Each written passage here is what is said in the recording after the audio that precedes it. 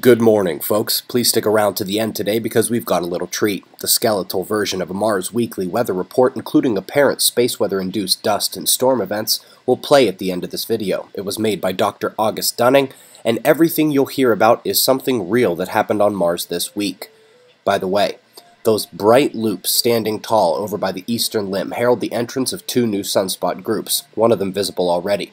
Daybreak in the United States, and we'll begin by coming to spaceweathernews.com and finding the last day on our star quite calm, but for a small CME bottom left, we'll miss Earth. Big plasma filament stayed firm for now, eyes on him still today. The solar flaring is in cardiac arrest. Flatlined X ray activity expected to end soon, however, as those new sunspots are about to come in. You can see one of them just at the limb there. Solar wind, we expected an impact and disruption, but this almost seems too small to have been it. The intensity is about right, but it was so short lived it barely produced global magnetic instability, and only low level storms could be found on a regional basis. Eyes open for more today. The departing positive coronal hole delivered that stream. Incoming red negative already visible in 211 angstroms over on the left side as our big guy turns away. Between coronal holes right now, so no big quakes, only some minor volcanic activity making for two mountains on alert in Sumatra.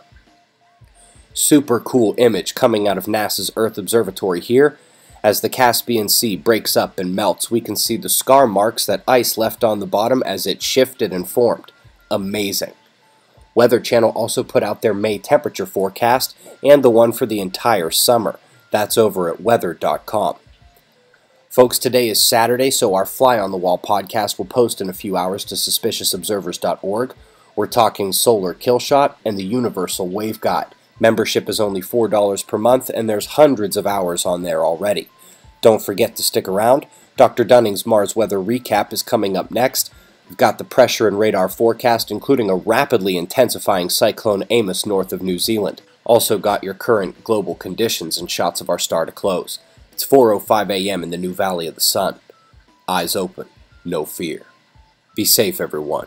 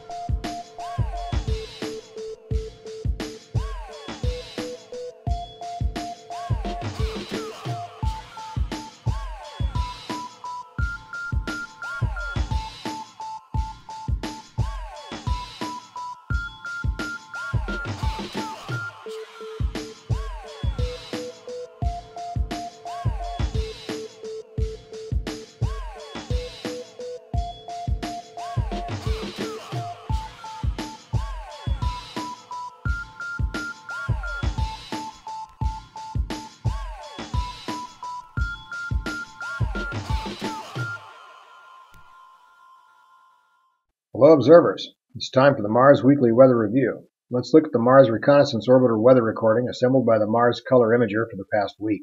Last week on Mars, dust storm activities increased over the southern hemisphere, possibly due to increased coronal hole streams leaving the Sun several days previous. Sirius, Solis, and Ionia experienced repeated local scale dust storms. A dust cloud generated by lifting in Solis moved northward and reached into Valles Marineris where it subsided. Northern Hellas, Cimmeria, Noachis, and landforms just east of Arcia also experienced transient dust storms. As usual, high ice cloud streams condensed above the Tharsis region volcano. Meanwhile, over equatorial latitudes, Condensate water ice clouds associated with the now waning aphelion cloud belt were observed. Focusing further north, small dust lifting events occurred near the edge of the perennial North Polar Cap, and dust haze over Olympia dipped southward over eastern Utopia. Despite the increase in dust storm activity, both rovers, Opportunity at Meridiani Planum and Curiosity in Gale Crater, experienced storm-free skies each sol.